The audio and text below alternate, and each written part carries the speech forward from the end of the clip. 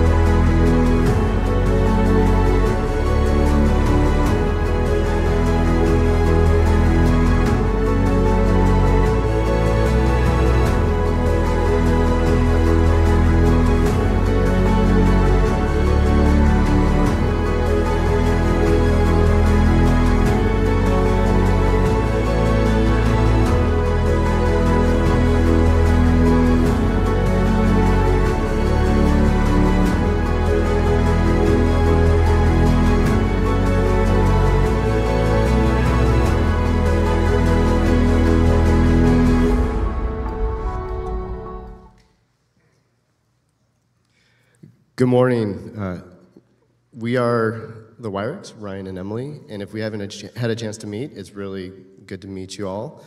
Uh, we are going to be reading today from Romans 6 15 through 7 6. What then? Are we to sin because we are not under the law, but under grace? By no means. Do you not know that if you present yourselves to anyone as obedient slaves, you are slaves to the one whom you obey, either of sin, which leads to death, or of obedience, which leads to righteousness. But thanks be to God that you, who were once slaves of sin, have become obedient from the heart to the standard of teaching to which you were committed. And having been set free from sin, have become slaves of righteousness. I am speaking in human terms because of your natural limitations.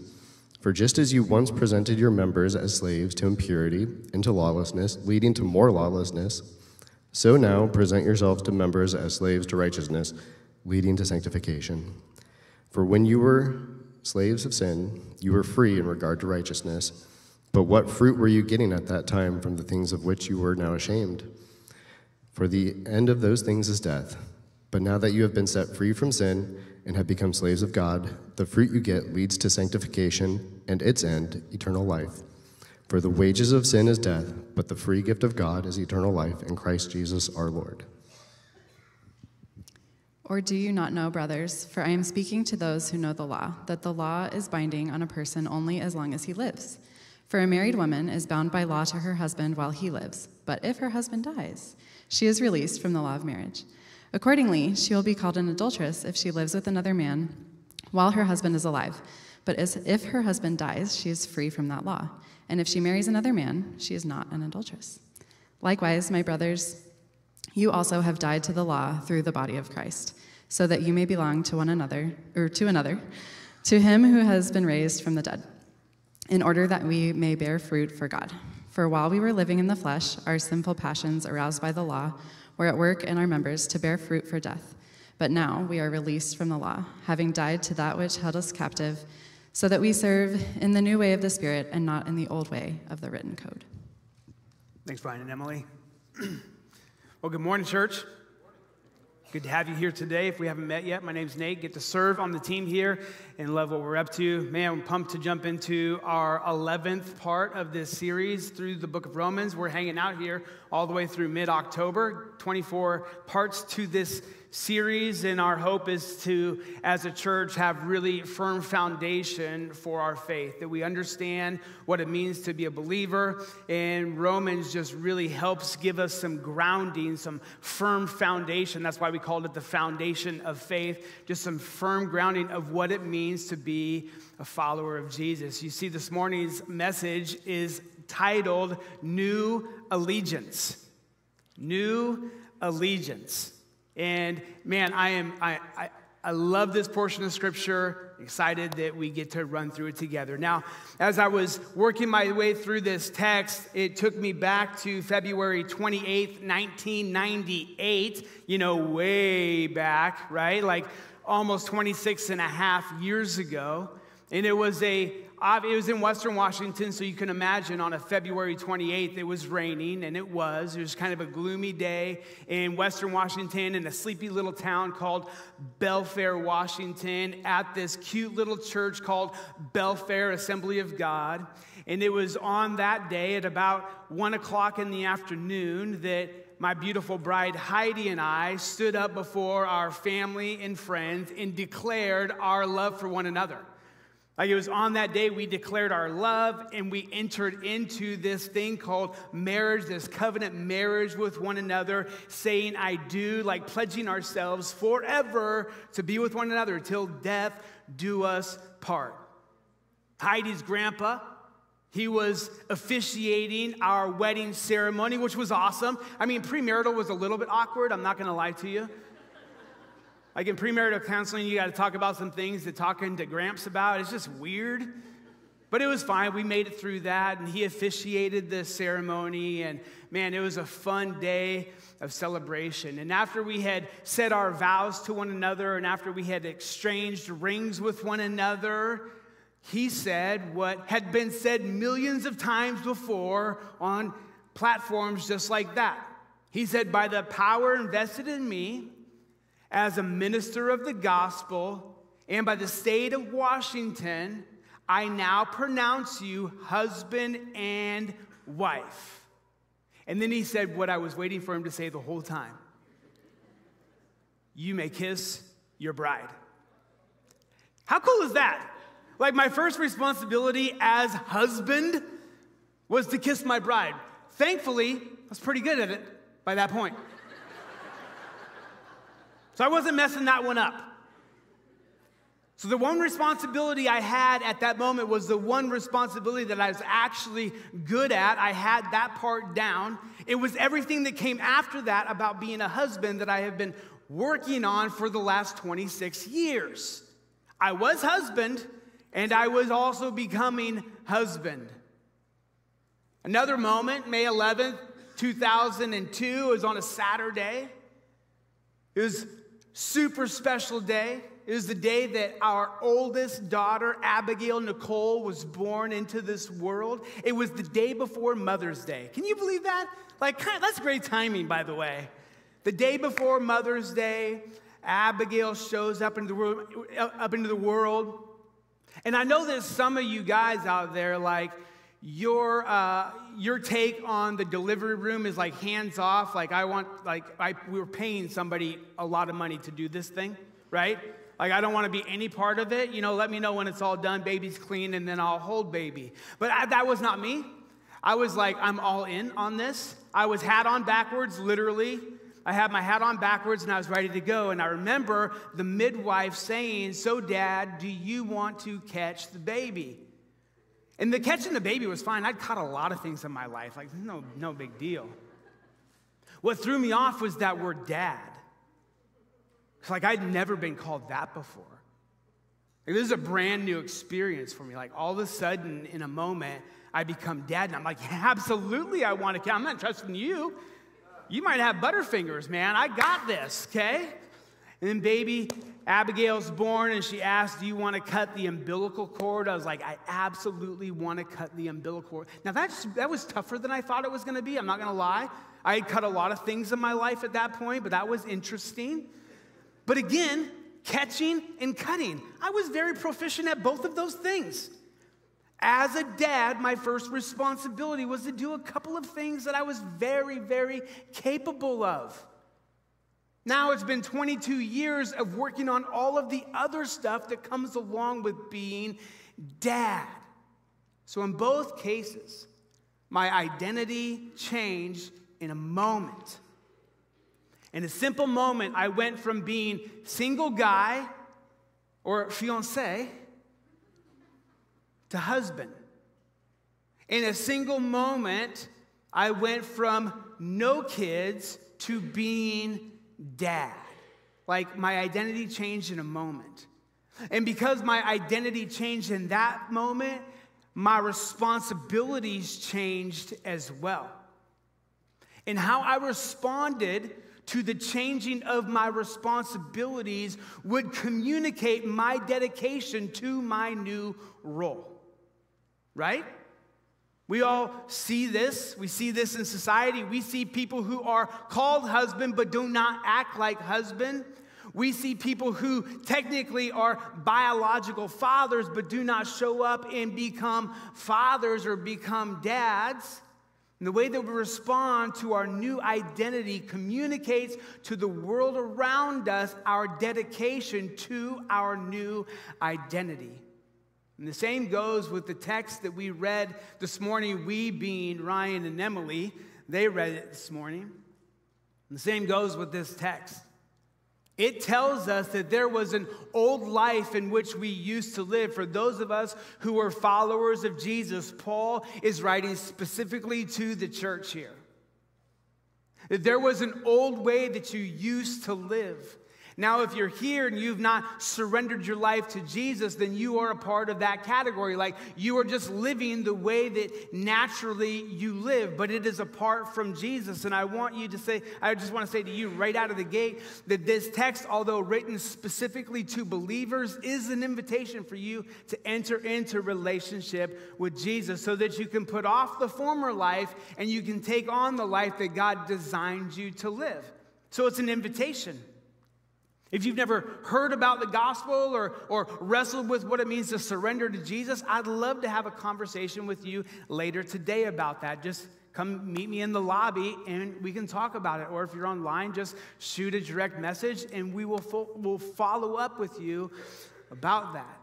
So, this text is for believers. It's helping us to understand that there was a lifestyle in which we used to live. But because we have now a new identity in Jesus, there is a new way that we live because of that identity. There are new responsibilities that come along with that. And Paul is just being really clear here.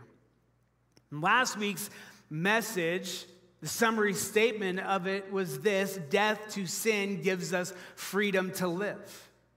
Death to sin gives us freedom to live, to live into this new life that Jesus has bought for us. Today's summary statement flows right out of that, that our obedience declares our allegiance. Again, summary statement for this text today is obedience declares allegiance, or our obedience declares our allegiance. See, you can have a title. The question is are you actually living out that title? There are many who declare themselves to be Christian, but yet live like there is no God at all. So, our, our, our, our obedience, are we actually following? Another way to say it is this who we obey declares or communicates who we are following. So to say I'm a follower of Jesus, but yet we do not follow him in action, speech, thought, means we're likely not actually following after Jesus. We just have a title before our name.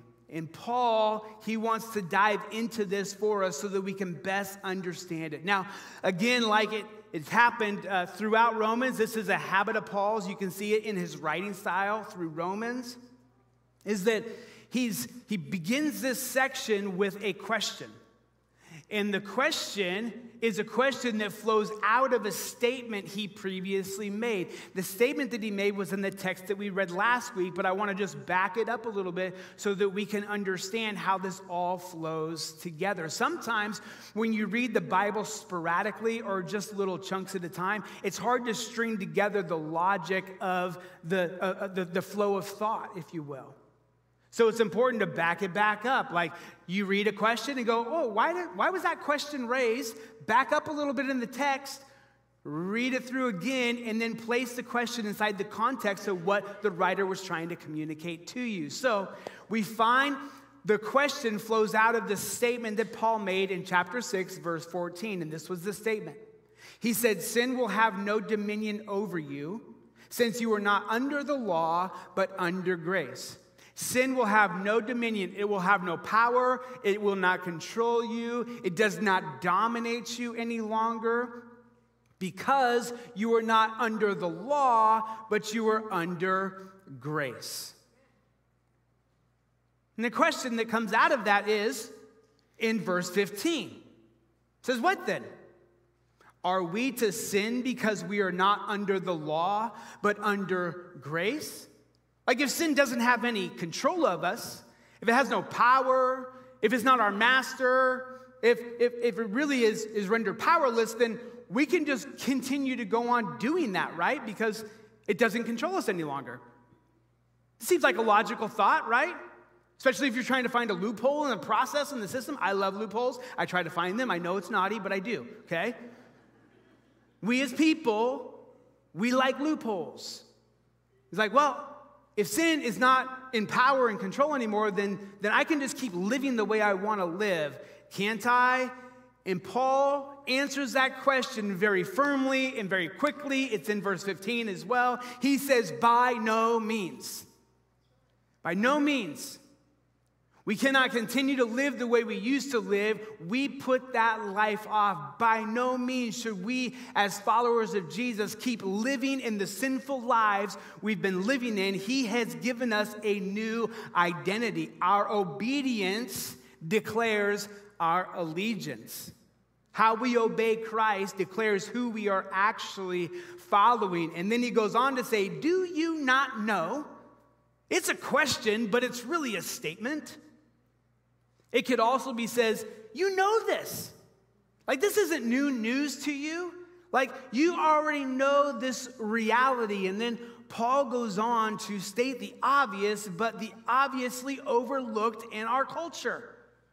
Like he says, you know this already, but let me spell it out for you once again, just in case you forgot along the way. You have a master and your master isn't you. Crazy, right? Like, we do get this. We totally understand this. But I know we're led to believe in our culture, in our society, that we are in control of our own lives. But we know this is not true because most of us in this room, we have transitioned from adolescence and into adulthood. In adolescence, you thought that once you became adult, you got to be free. And then you get to adulthood and you're like, man, there's still a lot of people who are calling the shots for me, right? I always think it's funny when somebody wants to become self employed and their desire to become self employed is so that they can be in charge that, that they can be free. I was like, you do know you're going to either have a customer base or a customer base. Like there's somebody else calling the shots for you. Don't know it, right? Like, so we know this intuitively, but, but our culture is constantly screaming at us that we get to be in control of our own lives. And they say it in statements like this. I'm sure you're going to be familiar with them that we are the architects of our own destiny. I always wanted to be an architect, so that sounds cool. We're in the, we are the architects of our own destiny. Or we hold the keys to our own future. How about this? This is our life, our rules. Sounds enticing, doesn't it? My life, my rules. This one I love because of the contradiction. It's like a logical contradiction, but people say it with such like authority. We get to design our own fate. Wait a minute, what? Are we designing it or is it fate? Which is it? You can't have both of them at the same time. But these are kind of like the mantras that we hear in our culture and our society. And Paul explicitly tells us that we are slaves to whatever or whomever we obey. That we are obeying somebody or something, and whatever it is that we're obeying, that is what we are slaves to. This is what he says. He says, Do you not know? If you present yourselves to anyone as obedient slaves, you are slaves to the one you obey. So if you obey something, you are a slave to that something, right? It's really clear what Paul is trying to say. So for those of us who are followers of Jesus, we have been what the Bible calls we have been saved, Being saved or set free does not mean that we are free from having a master. Everybody, every human being has a master. We all have a master. In fact, all of humanity has one of two options when it comes to who's in control of your life. We talked about this last week. We used Martyn Lloyd-Jones, old pastor, theologian, and author. We used his illustration of two fields. That you can think of all of humanity as if they are in two fields. One field is dominated by sin and Satan. He is the ruler over that field, he is in control and he is manipulating you through sinful actions and activities, which Paul says leads to death, or you're a part of the field that God is in control of, which leads us to freedom because God, as the creator, knows how he created us to live.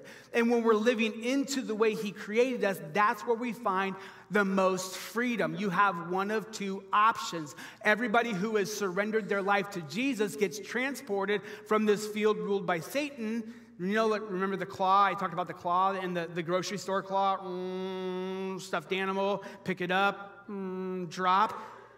Now, you and I are horrible at that, and that game's rigged in order for us to lose our money, and they keep their, you know, 25 cent stuffed animal.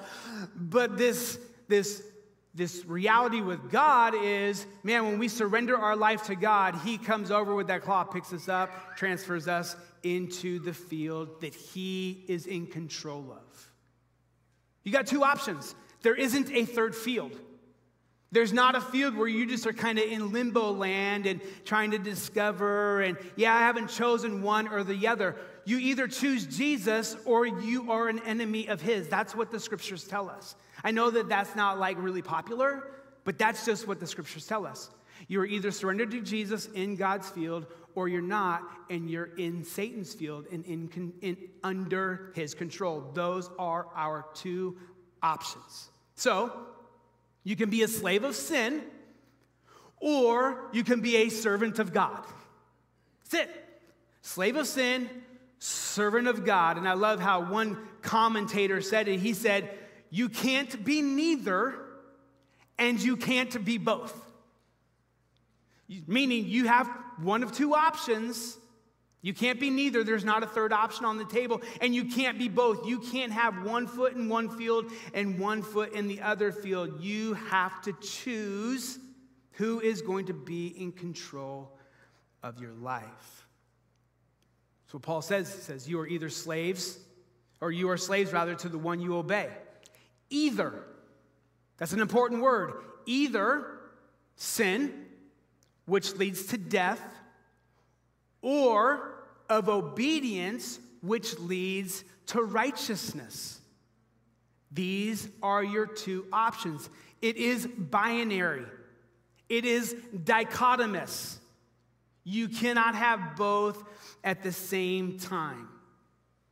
Now, slavery to sin it begins at birth. It is a very natural progression. I know that we like to give Adam, like not our Adam, not Pastor Adam, but like Adam, the first guy in the Bible, like book of Genesis, chapter one, right? We like to give him a hard time because we say, man, that Adam, if he hadn't sinned, we wouldn't be in the predicament that we're in. And, and, and I like to just remind myself whenever I go through that thought process is even if everybody before me was sinless, I likely was going to screw it up. Because sin is just a natural thing, right? We're born into it. Sinful people is just natural, right? We are just born into sin. So, a slave to sin, it's natural, it's normal. Servant of God, that comes when we are reborn. When we put our hope and our trust in Jesus, that's where we become a servant of God, or another way to say it that the Bible talks about is when we are born again this rebirth that happens and we find newness of life in Jesus. We've talked a lot about that over the course of this series. And our obedience declares our allegiance. Really, what we do with our life, Paul is trying to say, what you do with your life declares which field you are in. And he also is trying to help us recognize that both of these roads are leading somewhere. Whether you're a slave to sin or a slave of righteousness or, or a servant of God, both of these roads are leading you somewhere. Neither of them are stagnant. They are not stationary. They are not static. They are advancing all of the time. Both of these roads are leading you somewhere. My youth pastor growing up, he said a lot of crazy things. A lot of things that I couldn't even share here with you. But one thing that he shared as we grew up is something he loved to say all the time in youth ministry that I latched onto. He said, If you're not growing daily, you're dying gradually. If you're not growing daily, you're dying gradually. And what he was trying to communicate in that one little sentence is there are two roads that you can be on, and they are both advancing. You're never standing still. You're either growing or you're dying. And clearly, because Paul penned these words for us, he penned them for his first audience a couple thousand years ago. God preserved them through time so that you and I could read them because clearly spiritual growth is a desire for, that God has for you and I. He desires for us to be growing up and maturing spiritually in our lives. And as we follow God's truth, as we read it, as we learn from it, and as we obey it, our habits and our wills are shaped into His likeness. So as we follow God's truth, our wills and our actions, our thoughts, our speech, all the way down to our motivations, they are being shaped and formed into the likeness of God, our Creator. How incredible is that? It's like you go all the way back to Genesis where it says, Let us create man in our own image. That's God talking, Father, Son, Holy Spirit. Let's create man in our own image and in our own likeness. And then we blew that up but when we surrender our life to Jesus, God goes back to work on creating us in His own image and in His own likeness. Friends, that is the road of sanctification. It's the road of sanctification. We introduced this word last week. We coupled it with two other words that I just think are very helpful for us to understand when we process these kinds of things. One is justification. We've talked a ton about that in the last 11 weeks. Means in the moment when you say yes to Jesus, you stand righteously before God. Stand righteously before God. And then one day, either Jesus comes back to get his church, take us to be with him, or we pass from this life into eternity at death. At that point, we will experience what's called glorification. There's no more sickness, no more sin. Like evil and sin are eradicated. They're not a part of the picture. We don't wrestle with them anymore. We don't struggle. They are just simply not a part of the picture. And we all are excited for that day where there's no more sickness, no more sadness, no more disease, no more sorrow, no more pain. Like we all look forward to that day, but we are like, we're not at that day yet. We're in this different season, and it's a season of sanctification where God is shaping us and molding us into his likeness. Where we're being transformed back into the image of God.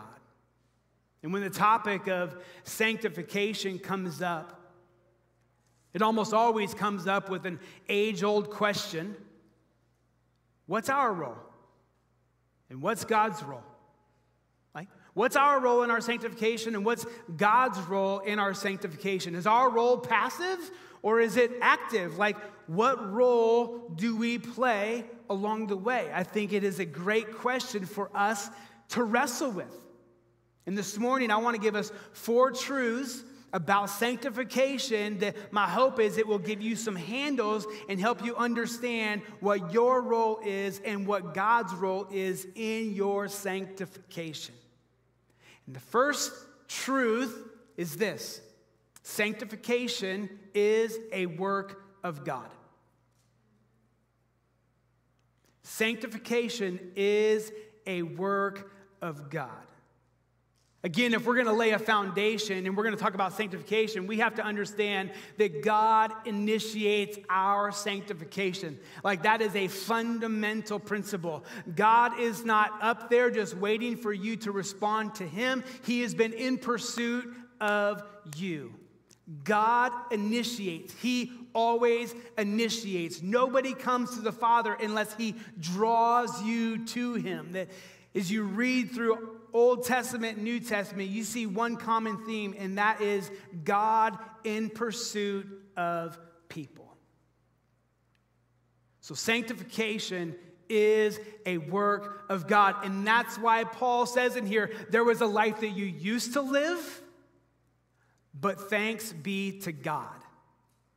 We read it this morning. Thanks be to God. See, Paul recognized that our sanctification is built upon, first and foremost, the working of God. It is Him who is working in us. In fact, in Philippians, another book that Paul wrote in the New Testament, he says, now in my absence, or rather, like you did in my presence, but now more, now much more in my absence, continue to work out your own salvation with fear and trembling, for it is God who works in you to will and to act according to his good purpose. That's Philippians 2:12. See, Paul recognizes that you and I do not get shaped and formed into God's likeness without God first initiating the process. It is God who works in us to will and to act, to will. If you have a desire to do what your Creator wants you to do, that is because God is drawing you in that direction. When you have the power to do it, that is because the Spirit of God is empowering you to live the life that God designed you to live. First and foremost, sanctification is a work of God. It's a work of God. Which leads us to our second point is that sanctification is it's not automatic. I was going to say it's a process, and you can write down either one. Sanctification is not automatic. Wouldn't that be awesome? Like, it would have been so cool at 12 years old when I accepted Jesus that all of a sudden I was transformed perfectly into his likeness. That would have, like, it would have alleviated so much heartache I would have got a lot less whoopings as a teenager. Like, it would have been so nice to be automatically transformed into God's likeness, but sanctification is not automatic. You know what is automatic? Aging. It's true. Day by day, minute by minute, second by second, you and I, we are aging. There's no way to reverse that trend. That's just a thing, okay? So we are automatically aging. You know it's not automatic? Maturing. So you're gonna get older. Doesn't mean you're going to get more mature. And as I say that statement, you had somebody's face pop into your mind, didn't you? You thought perfect, you thought of somebody. Maybe it was your neighbor, maybe it was your in law. Like, I don't know who it was for you. I had a face pop up into my mind too. These people that definitely got older, you could see it. Gravity was taking over. But maturation had stopped a long time ago. So we're all going to age, but we're not all necessarily going to mature. And spiritual formation is the same in our lives. Just because we get older, just because we've been in church for, I don't know, years and decades, does not mean we are being shaped and formed into the likeness of Christ. Doesn't mean we're actually following him because obedience is what actually declares our allegiance. Spiritual formation takes time. It's a process. And when I say process, I don't want you to think about minutes, hours, and days. I don't even want you to think about days and weeks. Spiritual formation, I want you to think about months and years and decades. It's a lifetime of Christ shaping us and molding us into his likeness. So it's a process. And I hope for some of you this morning, recognizing that this is a process, kind of brings some freedom to you because you're like, man, I should be further down the road than I am right now. That might be true. Maybe you pushed pause. Maybe your spiritual formation just stagnated along the way. But you know what? You can pick up the process today by being obedient to what Jesus is calling you to. It's a process.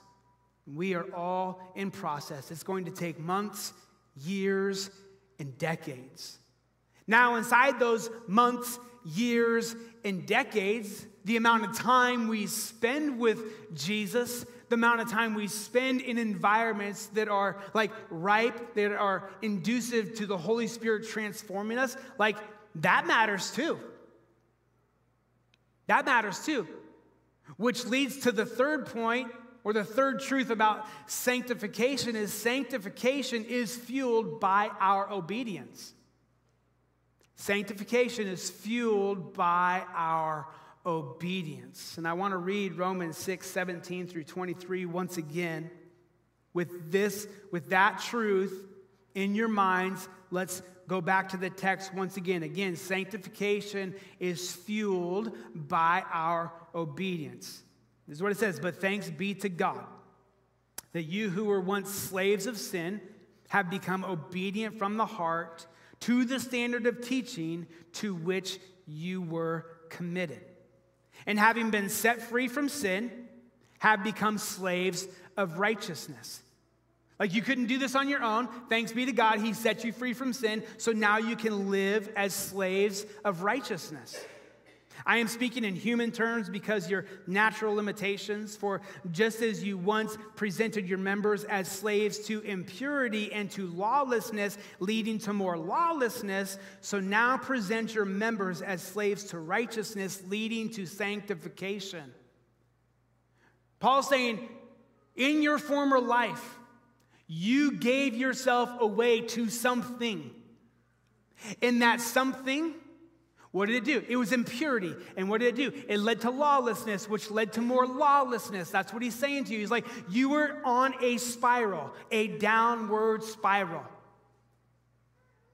And your lawlessness led to more lawlessness, and it was the actions that you were doing. So then he goes on to contrast it, and he says, so now present your members as slaves to righteousness, leading to sanctification. You used to present your members to impurity and lawlessness. So now, just in the way you did that to lawlessness, now do that unto righteousness. And when you do that to righteousness, when you obey what God commands in His Word, that leads to sanctification. That leads to Christ likeness. And then he expands on it a little more. He says, For when you were slaves of sin, you were free in regards to righteousness. You just simply didn't care. You didn't know you should care. You cast all care aside because you were not a slave to righteousness. But what fruit were you getting at that time from the things of which you were now ashamed? Like, you know that that produced nothing in your life. Why would you continue down that path any longer? But now, or excuse me, for in the end, those things, for the end of those things, rather, is death, right? It's leading somewhere. But now, we love those two words, don't we? We talked about them a lot quite a few weeks ago, but now there's something that has changed. There's a new identity, there's something different to live into. But now you have been set free from sin and have become slaves of God. The fruit you get leads to sanctification and its end, eternal life. Both roads are leading leading you somewhere. And he summarizes it all with one of very famous Romans 6:23 for the wages of sin is death. Like the payment for that lifestyle is death. But the gift of God, this is not something we earn. These are not wages. This is not something owed to us or due us. The gift of God is eternal life in Jesus Christ our Lord. Sanctification is fueled by our obedience. See, we have the ability to decelerate or accelerate sanctification in our life.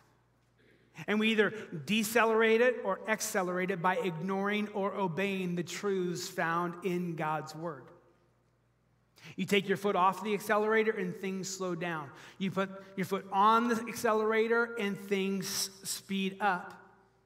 Another way to get our minds around this is by practicing spiritual disciplines, we fuel our sanctification. Spiritual disciplines are something that the church has, has celebrated and has uh, engaged in for the course of, of, of the church's history. And these spiritual disciplines are like studying God's word, opening it, reading it, letting it read you, doing this on a, if not daily, a regular basis. You spend time in God's word. You cannot know what God commands of you, what God wants from you, unless you are reading God's word. You just can't.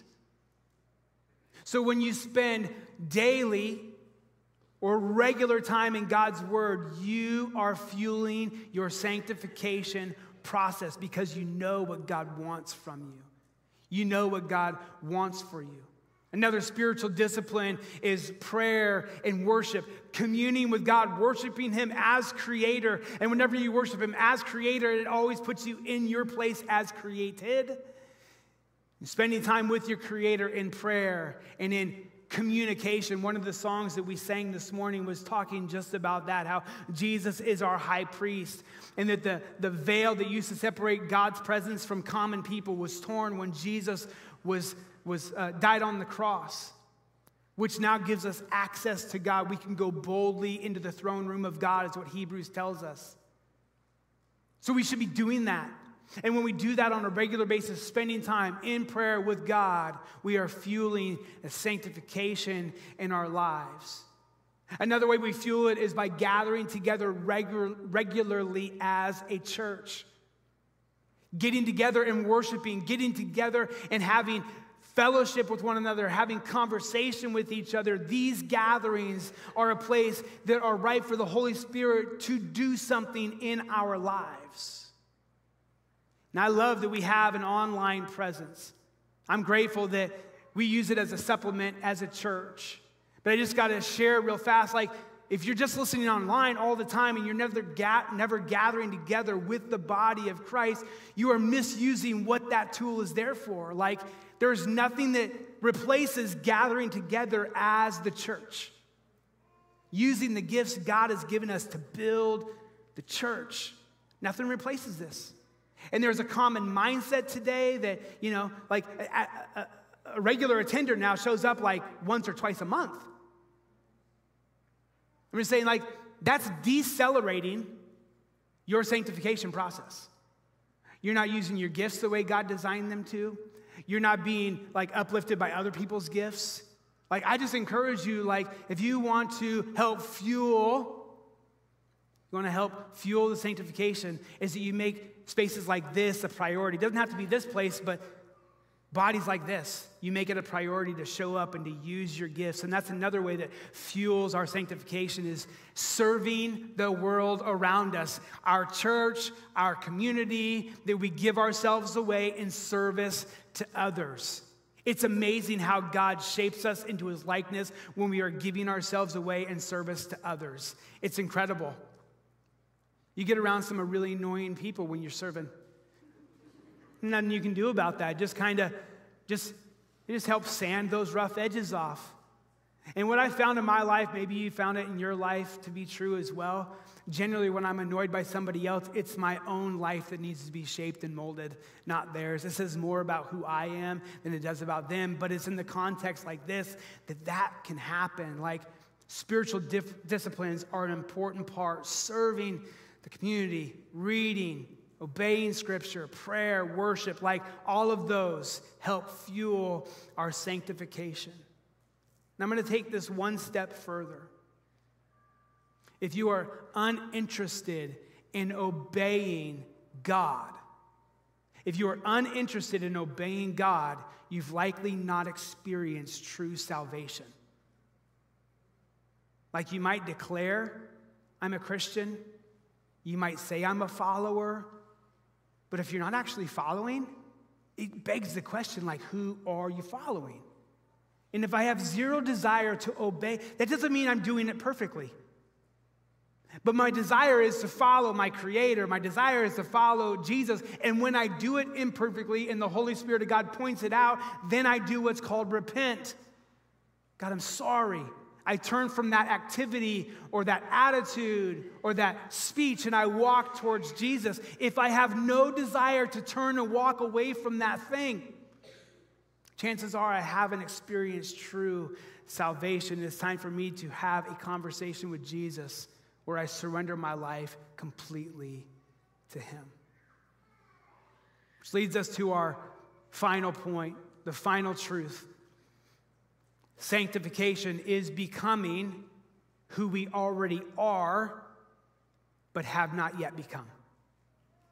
Sanctification is becoming who we already are, but have not yet become. The way that we communicate this as a church is through our mission statement people becoming the church. You see, in a moment when I'm justified, I stand righteous before God, and then I live a lifetime as He shapes me into His likeness. I am becoming what I already am. It's paradoxical. It's paradox. Like, for the rest of my life, I'm becoming who I already am. And this is described in a couple of uh, grammatical moods that you find in this text. One is indicative and one is imperative. Just simply means indicative statements are like they describe what is reality. So in here, Paul has given us the indicative. The reality is anyone who is in Christ, they are righteous. And the imperative always flows out of the indicative. The imperative is the command based on the reality that you find in the indicative. And the imperative, then live righteously. Then obey what God has commanded. Then actually follow Him and what He says. For example, some of you might be thinking right now, this room is hot. And if you could, you would give somebody a command turn up the AC. How many are wishing that that was a, yeah, see? Indicative, Hot room, that's a reality. Imperative, turn up the AC. Indicative, we are righteous in Christ, justified before Him. Imperative, now go live like that is true. Declare your allegiance through the obedience that you have in your life. You see, perfection is always the goal. And sometimes we dumb that down. Sometimes we, we, we dilute that. Perfection is always the goal. There is no sin that God's like, no, that's cool, it's fine. I mean, after all, you're only human. Like, those are the things that we say, those are not the things that God says. Perfection is always the goal. Jesus was perfect. He is our benchmark. He is the one we follow. That is always the goal, but progress is the pathway. None of us in this room have it figured out. Level playing field. We are all still in process. So perfection's the goal, but progress is the pathway. And my hope is that this text encourages us and challenges us to follow the pathway that leads to eternal life. If we could have the worship team come at this time as we wrap it up. I apologize, I've gone a little bit long this morning. And as they come, I want to tie back to my opening illustration. This moment where I became a husband, and this moment where I became a father. And there was so much for me to learn about both of those things. I was so ill equipped to become a husband, and I was even less equipped to become a dad. I remember when the nurse handed me Abigail in her car seat and we were supposed to strap her into our car and take her home. I thought to myself, you have no idea I am not equipped for this. I don't have the skills, I don't have the tools, I don't have what's necessary. It's true. As a husband, as a father, I did not have what was necessary. And since that moment of declaration, you are a husband, you are a dad, I have been working to become both of those things. And the same is true my relationship with God. At 12 years old, he declared me his child. And now, for 34 years, I've been living into that title. child of God. Now, here's what's incredible. I hope this ties it up for you. My pursuit of Jesus has helped me to become the husband and the dad that I am today. Apart from a relationship with Him, my relationship with my wife, my relationship with my kids, they would not be what they are today. I'm not saying they're perfect, but I'm telling you, they're pretty awesome. I love it. And it's not because of who I am, it's because of who Jesus has shaped me into. I had no tools. I did not have the resources. I did not know what it looked like, but I kept following Jesus. And when you follow Jesus, the priorities in your life, He prioritizes them such a way that all of a sudden you become the best husband, you become the best father, you become the best wife, you become the best employee, you become the best neighbor, the best friend. It's amazing what Jesus does when we follow his leading. So this is my hope is that every one of us in here today we will evaluate our lives and ask the question, who are we actually following? Would you stand to your feet this morning? Takeaway that I want to point to this morning is this take time this week to ask yourself, who am I obeying? And where is it leading me? Who am I obeying? Where is it leading me? And as the band plays, I'm going to pray, and then the band's going to play. And I hope you begin to process that right now. And if you need prayer about whatever you're wrestling with, we have some friends that are going to be up here in the front. They would love to pray with you. Again, if you're here, you haven't surrendered to Christ, I'd love to have a conversation with you about what that looks like. So, Jesus, we've opened your word. It's super challenging. Thank you that you don't just give us commands and then leave us to it, but yet you walk with us along. You like, like walk alongside of us to live it out. So I pray that for each one of us that we would surrender and that we would obey the truth found in your word. In your name we pray.